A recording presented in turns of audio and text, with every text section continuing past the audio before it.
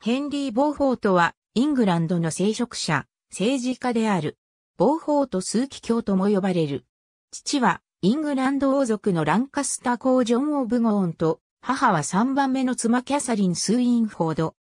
サマセット伯ジョン・ボーフォートは、同母兄、エクセター公、トマス・ボーフォートは、同母弟、ウエストモーランド伯、ラルフ・ネビルの妻ジョン・ボーフォートは、同母妹であり、ランカスター・アザを起こしたヘンリー4世は、異母兄にあたる。ウィンチェスター司教、枢機卿、大法官と栄達を遂げ独自の派閥を形成する。一方、百年戦争の方針に深く、関わりは平和として、フランスとイングランドの和睦に全力を挙げ、反対する公戦派と激しく対立した。1397年、他の兄弟ともどもいとこのリチャード2世から着出と認められ、翌1398年に林間司教、1403年に大法官兼任と急速な出世を遂げたが、1404年にウィンチェスター司教へ転任、1405年に大法官を辞任した。1407年、イボ・アニ・ヘンリー4世から改めて着出と認められたが、王位継承権は排除された。ヘンリー4世の知性、対フランス方針は、弟トマス、オイヘンリー王太子と共に、ブルゴーニュ公国と手を組み来たフランス遠征を主張。その際ヘンリー4世に退位を迫ったため、激怒したヘンリー4世により1411年に評議会から追われた。1413年に代わってヘンリー5世が即位すると大法官に復帰、1414年と1415年に議会でヘンリー5世のフランス遠征宣言を代弁するなど徴用された。1417年、大法官を辞任して、コンスタンツ公会議に出席、ローマ教皇マルティヌス5世の選出に尽力、恩賞として、枢機卿を打診されたが、ヘンリー5世に反対され実現しなかった。1422年に、王位ヘンリー6世が幼少で即位すると、諮問会議の一員に加わり、1424年に3度目の大法官となった。イングランドは、摂政で、ヘンリー5世の弟ベッドフォード公ジョンがフランスへ赴いて不在のため、もう一人の弟グロスター公ハンフリーが代行となったが、彼の独走を抑えるため評議会の同意なしに権力を行使できないことにした。合わせて自派の官僚を評議会へ送り込んだためグロスター公と対立、1426年のベッドフォード公の仲裁も効果なく大法官を辞任、ローマ亡命を余儀なくされた。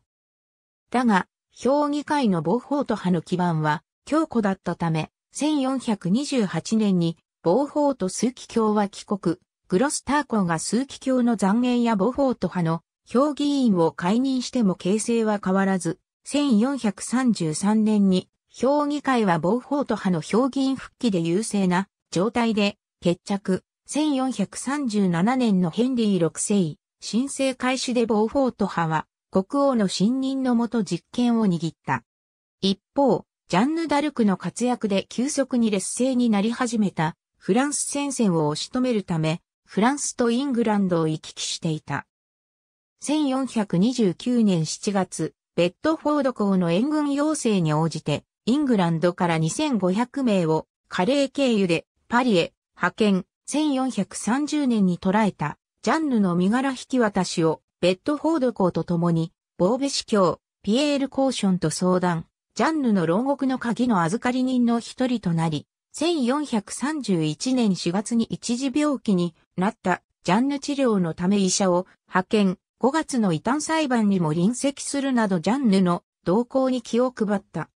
12月16日、パリのノートルダム大聖堂でヘンリー6世の戴冠式を執り行ったが、民衆の評判が悪く、フランス優勢の流れを変えられなかった。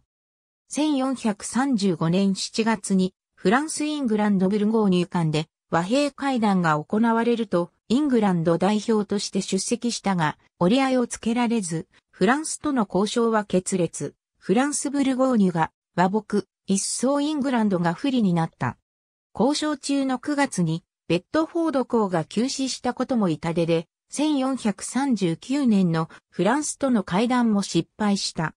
これ以後は徹底抗戦の不利を悟り、ヘンリー6世の信任を得て、和平派として、フランスとの和睦を推進、抗戦派のグロスター公、ヨーク公リチャードらと対立した。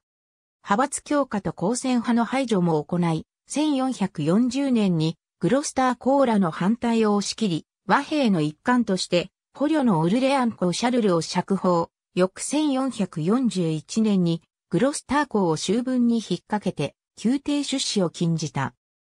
1442年には、甥のサマセット公ジョンボーフォートをガスコーニュ方面司令官に登用して、ノルマンディ総督のヨーク公を牽制、1444年にフランスと交渉して、ヘンリー6世とマーガレット・オブ・アンジューの婚約を成立、2年間の休戦条約も結んだ、サフォーク伯、ウィリアム・ド・ラポールに目をつけ、1445年に彼に権限の大部分を移譲して貢献を行った。サマセット公は1444年に急死したが、後を継いだ弟のエドムンド・ボーフォートも、東洋、1445年にノルマンディ総督をヨーク公からサマセット公へ交代させた。1447年2月、ヘンリー6世の命令で、グロスター公は逮捕され獄死した。2ヶ月後の4月に、ボーフォート枢機卿も、高齢のため死去、ボーフォート派は、サフォーク公とサマセット公に受け継がれ、ヘンリー6世夫妻に徴用され、牽制を振るった。だが、先制に走り和平外交が失敗したことで、フランスのさらなる攻勢とヨークコーラ反対派の怒りを招き、やがて百年戦争の敗北とバラ戦争の勃発の原因となった。小野、P20P21、ロイル、P75、ABCD 松村、P62、木戸、P107、P119、P120、ロイル、P88、P110、P111、P425、小野、P21、P38、P46、ロイル、P159、P162、P163、ペルヌー、P198、P234、P242、清水、P265、P266、P285、P324、ロイル、P168、